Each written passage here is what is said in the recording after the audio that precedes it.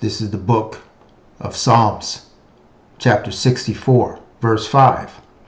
They encourage each other to do evil and plan how to set their traps in secret. Who will ever notice? They ask. As they plot their crimes, they say, We have devised a perfect plan. Yes, the human heart and mind are cunning. Shalom. Giving all praise, honor, and glory to Yahweh, Bahashem, Yahweh Shai, Bahashem, Rahaha Kodash. Double honors to the apostles and the elders of Great Millstone, pushing this doctrine of truth to the elect of the nation of Israel, who were scattered throughout the four corners of the earth, pursuant to the curses of Deuteronomy, chapter 28. Okay, so what I just read are precepts that describes the evil doings of the wicked. And the wicked is none other than Esau Edom, the so called white man, the Edomites, descendants of Esau, who are still on this earth committing all manners of evil and wickedness. Okay? So there's a saying amongst these uh, woke uh, Israelites, especially, um, cats that are affiliated with Kemet, that whole knowledge of self, uh, mumbo jumbo that they push. All right, they're always quick to tell you about how you need to, uh, you know, learn about yourself and learn about your history and learn about this, that, or the other. Okay, not your Israelite history and heritage. All right, but a Hamite heritage and history, okay? Um, because obviously they think that we are descendants of Ham when we are descendants of Shem, okay? We come from the chosen line, you so-called Negroes, Latinos, and Native Americans. Where am I going with this? Well, yeah, it's important to know knowledge of self, which you do learn in the truth as Hebrew Israelites. This awakening, you do learn about the knowledge of yourself, your people, Yahweh Bashim, Yahweh Shai, okay? The path of righteousness and how it's important to take the straight gate in order to get to heaven, right? To the kingdom of heaven, rather. All that's important. But with these these Kemet uh, Israelites, and they don't call themselves Israelites, they just they call whatever they call all right, they they they they're into that Kemet movement. They don't teach you or tell you anything about learning who your enemy is, right? And see, and that's the most important. Well, next, it's close to one of the most important things about being in the truth, because you have to learn how to move. All right. Once you identify who your enemy is, and yes, we as Israelites, we have enemies. All right, our primary enemy is Esau, Edom, the Edomites. Right? So in this truth, you learn who your enemy is. And again, why is that important? Well, why is it important for a sheep to identify their enemy? Well, because they're going to know how to recognize, or they're going to need to know how to take action or how to prepare when they're out and about, okay, doing their thing. When they see a, a pack of wolves, they're going to know, hey, that's my enemy. I need to run for cover.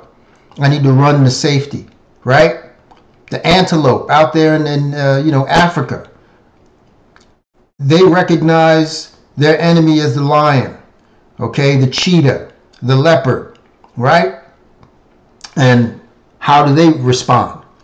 They take cover, they run, they sprint for their lives, right? You don't let them get close enough to you in order to destroy you, take you down, and eat you, right?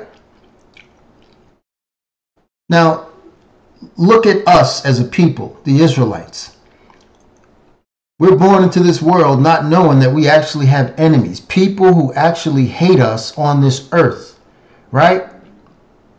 See, the devil, the so called white man, is going to push that we're all equal, we're all the same, right? Just to remind you that you don't have any enemies. Okay, that's what that says. That implies that you don't have any enemies. Okay? When deep in their heart. You can just look at everything that they've done to us. I mean, which tells you, their track record speaks for itself, that we are their enemies. Okay? We have an adversarial relationship. We always have and always will. Okay? And that's what the scriptures say.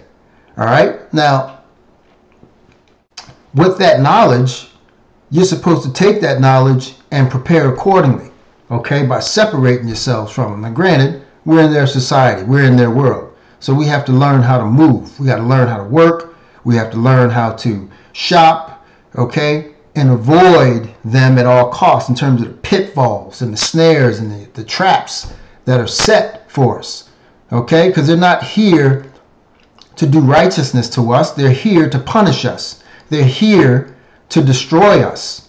Okay? The Heavenly Father said that He was going to send us over here to the land of our enemies so that, you know, we would be destroyed. And what He meant was in, in mind, primarily.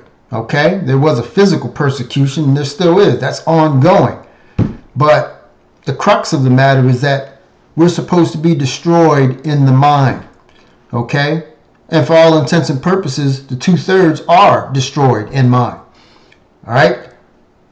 The hopeful elect, because we were quickened with the Holy Spirit, we're on our feet again. Now we have the, the wisdom, okay, to to learn how to move in this wicked world run by the Edomites. Okay?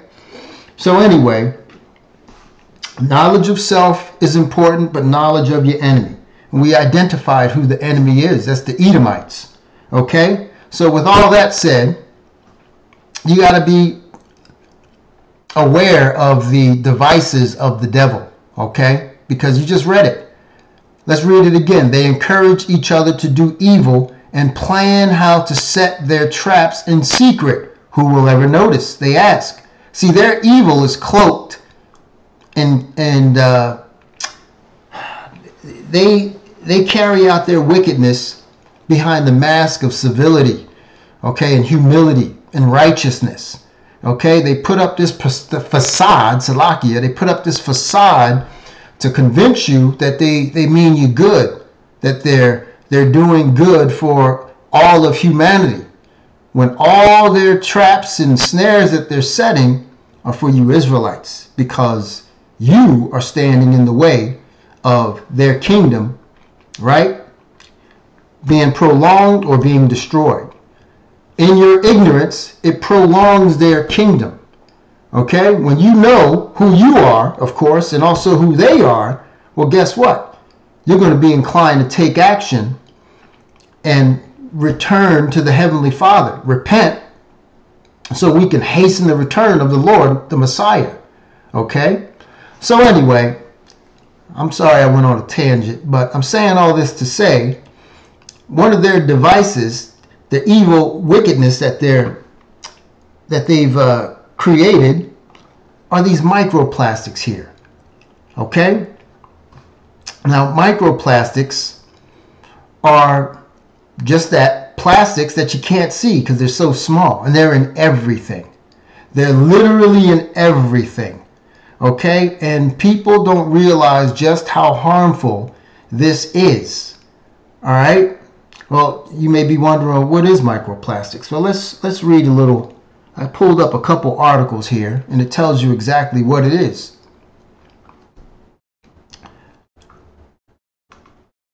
What are microplastics? Can you see them? We often consider plastic items to be indestructible, but plastic breaks down into smaller particles. Definitions vary, but generally microscopic microplastics are smaller than 5 millimeters. This makes some too small to be seen with the naked eye. So many of the images the media use to illustrate articles about microplastics are misleading. As some show much larger, clearly visible pieces, microplastics have been reported many sources of drinking water and everyday food items. This means we are constantly exposed to them in our diet. Such widespread chronic long term exposure makes this a serious concern for human health. Why wouldn't it? While research investigating the potential risk microplastics pose to our health is limited, it is growing. It's not limited, it's just not available, okay? It's not available to the public. These devils know exactly what the hell they're doing, okay? They know the deleterious, harmful effects uh, that these microplastics, uh, microplastics pose.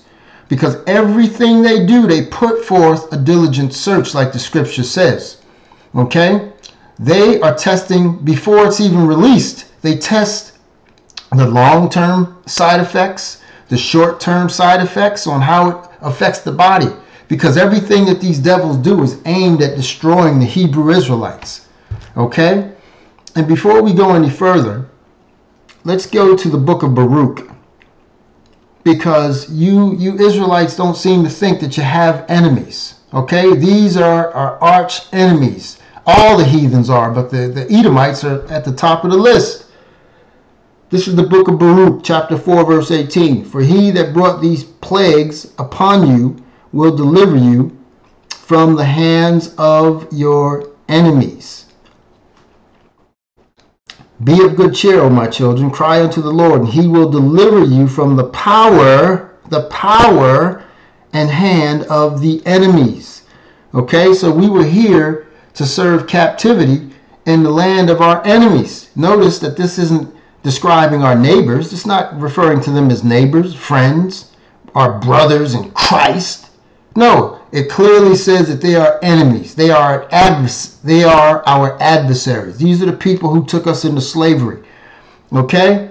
So this tells you, it gives you a time frame to understand, okay, where we are in terms of prophecy because it says he will deliver you from the power and hand of the enemies. That's salvation. Okay, that's one component or aspect of salvation. So this tells you that this is the end time, and yet the Edomites are still going to be considered our enemies. Right? So salvation for the uh, for the Edomites as well, because here they're referred to as our enemies. All right? Here they're referred to as our enemies. So, yes, you have enemies in 2024. You're going to continue having enemies in Esau, Edom, as well as the other heathen nations. All right? So, you have to move accordingly. All right? You got to look at their devices, and this is a device. Okay? Well, let me finish what we were reading. How about this latest study? Now, this was already done. Rest assured. Trust me on that. The study looked at concentrations of microplastics in 51 samples from men and women set aside from the routine autopsies, a post-mortem examination. That's what an autopsy is. Okay, after you die, they examine the body, especially the organs, to see what kind of things were deposited in the organs when the person was alive. Okay, how did it get there? All right, and you're going to learn that these microplastics are delivered to different aspects of the body, different organs. Samples were from the liver, the kidney, and brain. These tiny particles are difficult to study due to their size because they're damn near microscopic. Even with a high powered microscope, right? Yeah, this tells you that they're, microsco- uh, they're, they're microscopic. You can't see them with the naked eye. If you got to break out the microscope, then you can't see them with the naked eye. So rather than trying to see them, researchers are beginning to use complex instruments that identify the chemical composition of microplastics in a sample. This is the technique used in this study. The researchers were surprised to find up to 30 times more microplastic in brain samples than in the liver and kidney. I'm going to stop right there. What's significant about the brain? Well, the brain is is the uh, the the the computer of the body. Okay, everything goes, everything is processed through the brain. Okay, information is entered into the brain. All right, it tells the other organs, it tells the, the, the extremities, all right, the body systems, how to move, how to operate, how to function, right? So, what do you think is going to happen if you have something that's targeting the brain? It's going to impair the functionality of the brain. Okay? It's going to impair or change the structure of the brain. Okay? If it changes the structure and the, uh, the anatomy of the brain, it's also going to affect the functionality of the brain, right? And it's, it's going to open the door for other things to, to begin to take place, like Alzheimer's disease. Okay, now they're not going to tell you this in these studies, all right? Now, from what I know about the body, because I'm in medicine, well, I'm going to continue and, and then I'm going to um, share a little uh, insight, okay, um, as to why I think they're doing this. They hypothesize this could be due to high blood flow to the brain carrying plastic particles within it or with it. Okay, so the blood brain barrier. Um, Salaki, I'm getting ahead of myself. Alternatively, the liver and kidneys might be better suited to dealing with external toxins and particles because they detoxify the body. We also know the brain does not undergo the same amount of cellular renewal as other organs in the body, which could make the plastics linger there. Okay, so yeah, the brain the brain doesn't really regenerate itself like other organs. Okay? You're stuck pretty much with a fixed amount of uh, cells, all right, in the brain. So when you damage those brains, a lot of them can't be repaired. Most of them can't be repaired. The researchers also found the amount of plastics in brain samples increased by about 50% between 2016 and 2024 this may reflect the rise in environmental plastic pollution and increased human exposure. The microplastics found in this study were mostly composed of polyethylene. This is the most commonly produced plastic in the world and is used for many everyday products such as bottle caps and plastic bags. This is the first time microplastics have been found in human brains, which is important. However, this study is preprint so other independent microplastic researchers haven't yet reviewed or validated this study. Bullshit. Of course they did. They put forth a diligent search like the scripture says. They know exactly how it's affecting the body. Trust me on that. They know. They know, they know, they know. This is why they're doing it. Okay? They didn't just start creating these products and say, hey, um, oh wow, what's a what's a side effect of creating all these things, these plastics? they already knew. What they did is they determined how to uh, uh, create toxins and disseminate them in every aspect of society. Okay, every aspect of the world. Okay, from breathing in these chem- these microplastics to drinking them when you drink water. Right, they're in the ocean. So what happens when you you uh, you subsist on on uh, marine animals, fish, right? And the, the people that eat the abominable food, like the crustaceans, the crabs, the lobsters, the, the mollusks, right? The clams, right? Shark, swordfish, all right? All those predatory fish, they feed on this stuff. They feed on smaller animals or smaller fish, fishes, and then ultimately they become in, in, uh, contaminated with these microplastics. This is why you're seeing a lot of these whales beach themselves and sharks beach themselves. Okay? Because it affects the brain. All right? And I don't know where in the article it says, but uh, here it is. As I speak about it, here it is. To get into brain tissue, microplastics must cross the blood brain barrier, an intricate layer of cells that is supposed to keep things in the blood from entering the brain. See, Yahweh Bashim Yahweh Shai created the perfect the perfect uh, body, right? Because this is something that was designed to keep things from crossing into the brain. But this devil decided to create these microplastics that can in fact enter the blood brain barrier. Right? Now the Heavenly Father knew what he was doing when he created these devils, right? but this is part of the punishment. But after they're eradicated from this earth, this won't be a problem anymore. Okay? And it wasn't a problem in the past until Esau Edom came into power. Okay? With this captivity. Although concerning, this is not surprising. uh, as microplastics must cross similar cell barriers to enter the urine, testes, and placenta. Okay, with a pregnant woman, all right, it crosses the placenta and, and it enters into the organs of the fetus or the baby where they have already been found in humans. Is this a health concern? Of course it's a freaking health concern. We don't know we don't yet know the effects of microplastics in the human brain. Of course they do. This is why you're seeing um, all kinds of neurological issues develop, such as um, Alzheimer's disease, okay, which is uh, the development of plaques in the cerebral arteries, okay you see these plaques begin to form in the in the arteries in the brain, and eventually it's going to cause disease. It's, it's going to affect the way you think. It's going to affect your behavior. All right, it's going to cause all kinds of neuro- neurological issues that are deadly. That uh, you know, when you get Alzheimer's disease, it's, it's a terminal illness, pretty much. Okay, you die from it. You go crazy.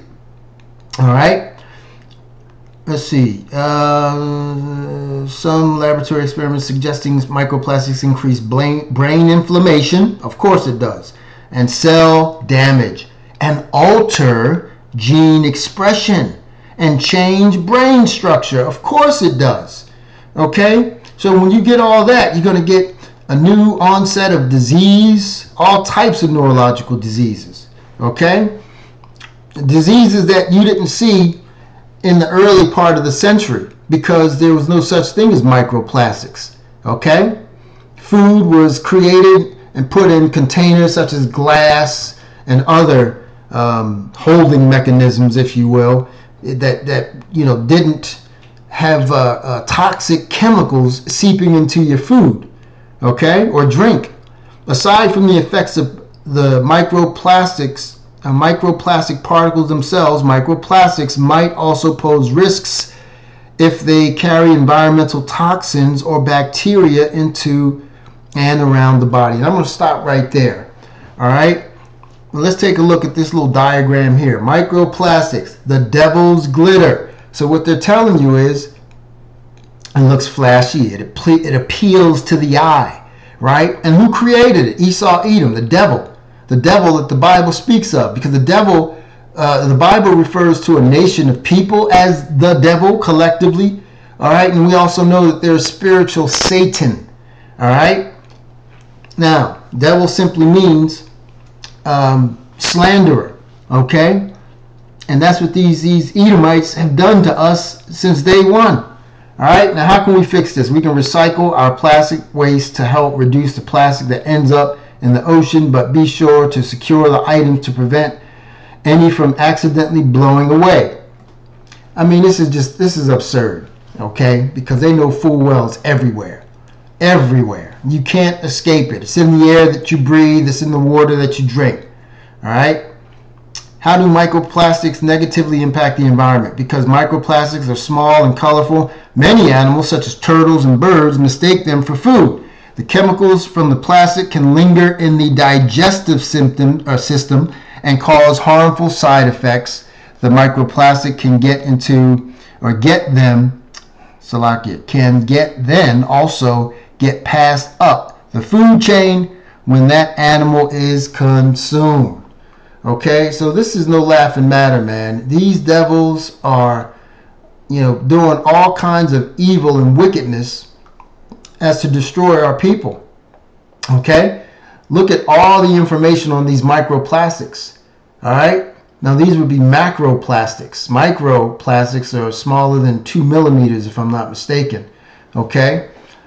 But nonetheless, they're still consumed. Okay? They're still consumed because these fish see them and they consume them. All right? And if it if they consume these microplastics and you consume the fish, the lawful fish and seafood, then what happens? You ingest it and take it into your body and you're affected, right? Look at this uh, diagram. Plastic does not go away. Plastic is so permanent and so indestructible that when you've tossed it in the ocean or even into a dustbin, it does not go away. 192 billion pieces of plastic in Australia's marine environment. That's just Australia alone. Okay? These devils must be stopped. All right, let's get some more scriptures. Let's go to the book of Revelation, chapter 11, verse 18. And the nations were angry, and thy wrath is come, and the time of the dead, that they should be judged, and that thou shouldest give reward unto thy servants, the prophets, and to the saints, and them that fear thy name, small and great, of the Israelites. Right?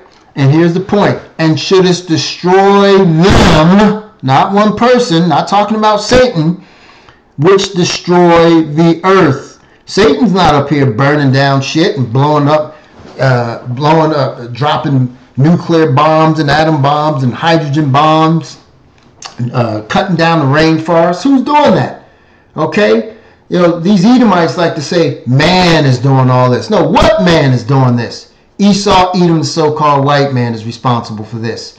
All right? And you got the other heathen nations that follow in his footsteps, some more than others, but he is the ringleader.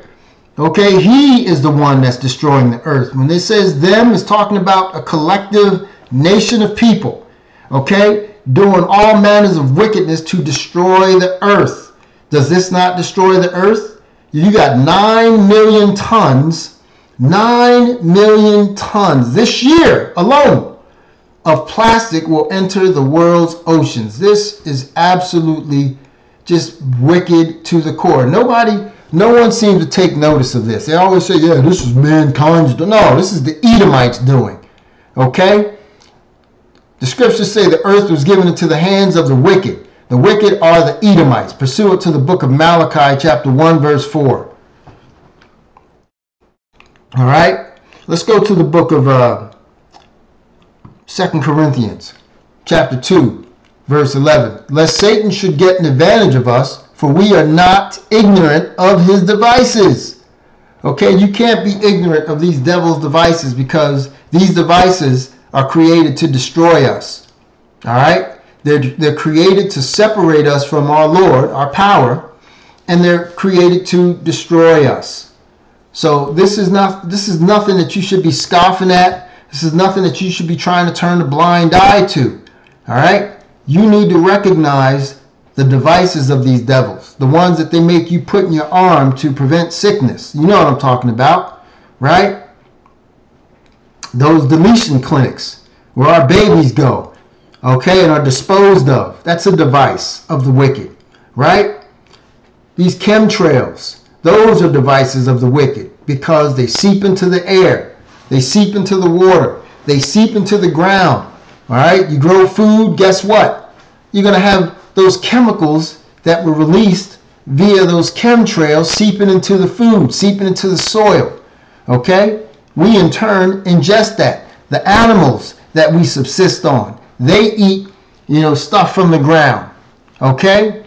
And guess what? They get contaminated we in turn can consume those animals, the cows, right? The chickens, okay? Everything that's lawful to eat, the fowl, right? Everything that's lawful to eat is pretty much contaminated because of these devils, all right? Now, this is something that, you know, again, you Israelites, you have to realize and recognize who and what you're dealing with, all right? because all this is leading up to that mark, the mark of the beast. You know what I'm talking about? The Revelation chapter 13, verse 16. Okay? Because that is how he's going to be able to exert all kinds of control over all of mankind, but especially you Israelites, because this is about affecting us more than anybody else. Because again, we're standing in the way of their kingdom, all right, being prolonged. When we come back to the understanding of who we are as Israelites, all right, it's pretty much a wrap for them. All right? It's a wrap now. But the more this gospel gets out and our people start waking up, at some point, guess what's going to happen? It's going to hasten the return of our Lord, Yahushua, and these Edomites are going to be taken out of power, and that's what they do not want. All right? Let's go to the book of Proverbs, chapter 4, verse 14. Enter not into the path of the wicked, and go not in the way of evil men. For they sleep not except they have done mischief, and their sleep is taken away unless they cause some to fall. Let's look that up in the NLT. Okay, this is talking about the Edomites. I ain't talking about the Israelites. They eat, Salakia, verse 16. For evil people can't sleep until they've done their evil deeds for the day. They can't rest until they've caused someone to stumble. You Israelites, okay? They're constantly plotting on wicked things, wicked devices to create, all right? To use on you Israelites to destroy you. They eat the food of wickedness and drink the wine of violence. The way of the righteous is like the first gleam of dawn. Well, we'll stop at 17. Okay, but you get the point. All right, they subsist on wickedness. They thrive on evil. All right, they drink the wine of violence. This is what they're they're known for. Their trademark is violence and destruction. Okay, when you say violence, that doesn't necessarily mean you have to be blowing shit up all the time. Okay, creating these microplastics is a form of violence. Okay, it's destructive. It's very destructive. What's what's the difference? A gun just does more damage. A knife just does more damage. This causes chronic destruction over a period of time. Okay, it's a slow, gradual, progressive type of violence that's taking place because it's destroying you. It's destroying your mind. And this is what they want. They want control of your mind.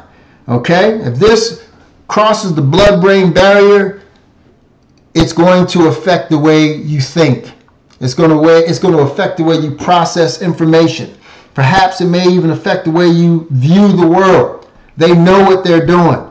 Okay, they target the brain. They target the other or, uh, organs in the body to destroy them, so you can be destroyed.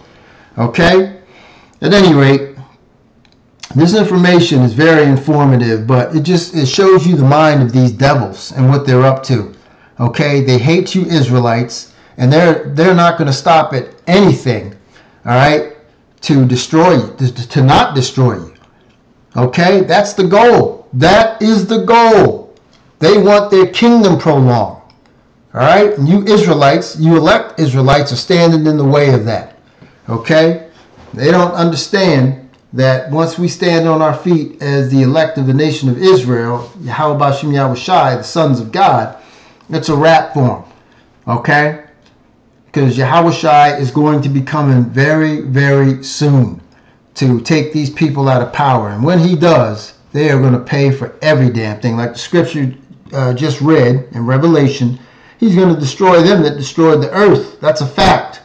All right? Anyways, with that, I want to say all praise, honor, and glory to Yahweh Bahashem Yahweh Shai. Shalom.